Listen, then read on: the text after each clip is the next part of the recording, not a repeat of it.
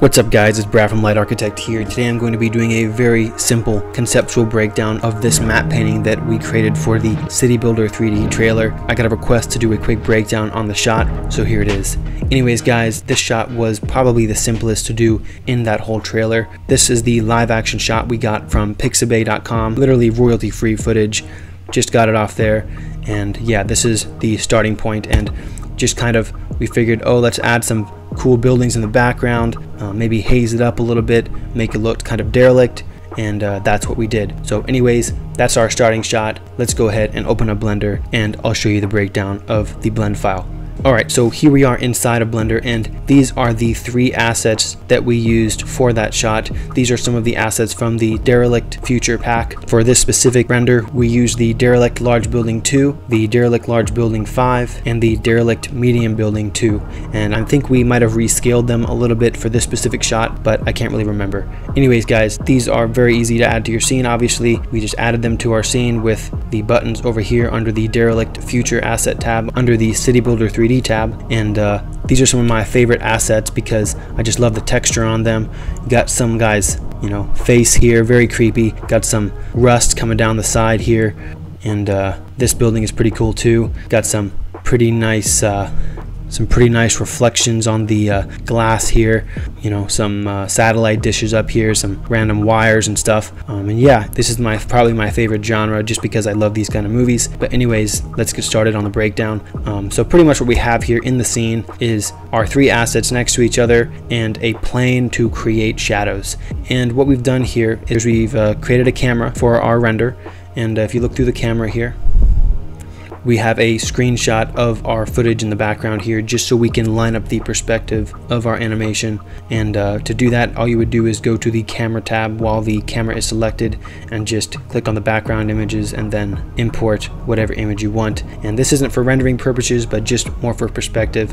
And uh, because the camera doesn't really move around these buildings all we really have to do is render one frame of these assets and then use them as essentially a matte painting for our final composite. So so pretty much what I did is I uh, added a camera to the scene, lined it up, tried to find a similar focal length to the camera that I think would have been used for the live action shot. I added the three assets to our scene, created a ground plane for shadows to create some environmental interaction, to create this shadows only plane so that this plane only renders the shadows of the objects around it. You would just simply go to the object properties tab here and then under the visibility section you would just click and enable the shadow catcher option here and then your render won't actually render the plane it'll just render the shadows that would be on that plane based on its environment and based on the other 3D objects that you have in the scene. Anyways, after that, I created a sky in the scene that matched our light in the live action shot. So essentially what we have here is a very, very soft and bluish uh, background that we're trying to match our shot to. So essentially that's what I did.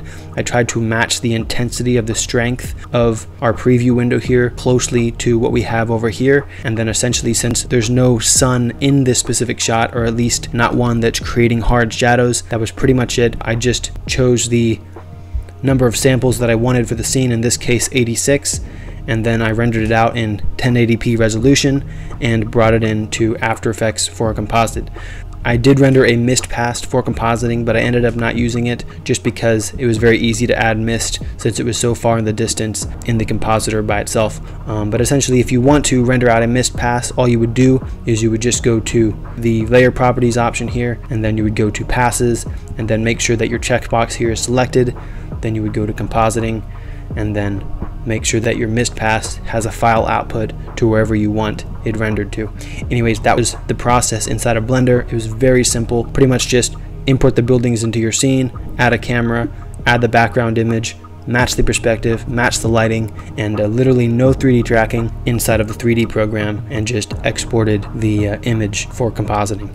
And uh, usually I do my compositing inside of After Effects. Hopefully I can do some compositing tutorials for Blender as well, but I still need to get into that some more. Right now I'm much more comfortable in After Effects. What we did in After Effects was also pretty simple, um, but we did a very simple uh, 3D track of the scene and then we created a null object for our background here so we could track all three of our buildings into the scene. Then what we've done here, I'll go ahead and start from scratch. I'll go ahead and disable some of these layers.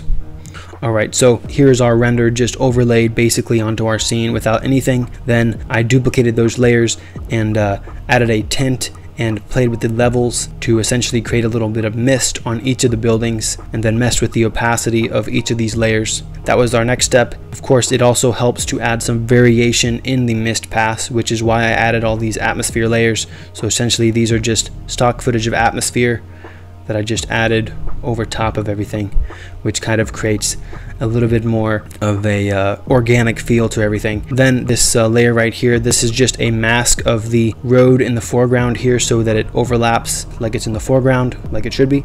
And then yeah, pretty much um, to create these reflections, I duplicated the render of each of these buildings and then I rotated it down into 3D space to create where I would expect the reflection to be if this were actually in our scene here, obviously. And then to create the reflection look, I essentially added a levels effect to adjust for color correction, a wave warp to create a little bit of warping and animated warping so it kind of moved over the course of our footage. And then I added a camera lens blur to uh, kind of blur it into the rest of our shot like the rest of our sky reflection right here.